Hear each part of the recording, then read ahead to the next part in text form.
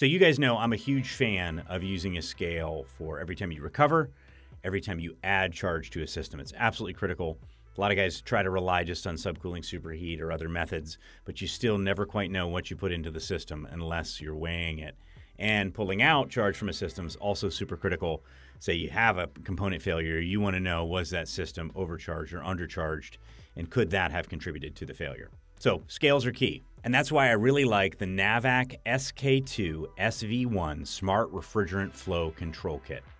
It not only comes with a reliable digital scale, but also their smart refrigerant valve. This gives you superfine control over both charging and recovery. All right, first let's talk about the scale. So the scale is Navac's NRS 2A.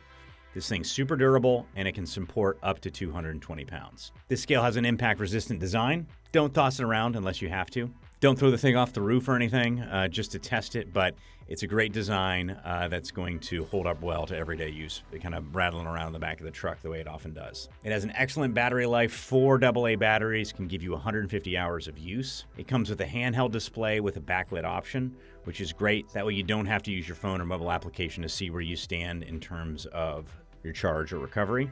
It's only about three pounds, comes in a nice bag for easy transport, and again, you're going to want to pull this thing off the truck every single time you charge or recover. The smart refrigerant valve is the NSV1. This thing gives you precise control of the refrigerant you're putting into or taking out of the system.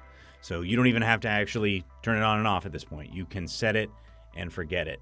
Has a rechargeable battery that lasts up to 60 hours and connects to the MyNavac app via Bluetooth where you can set recovery and charging targets that tell the valve to close when reached. Has a Bluetooth range of 98 feet, and they're all backed by Navac's great one-year warranty. To find out more, go to hvacrschool.com slash SK2SV1.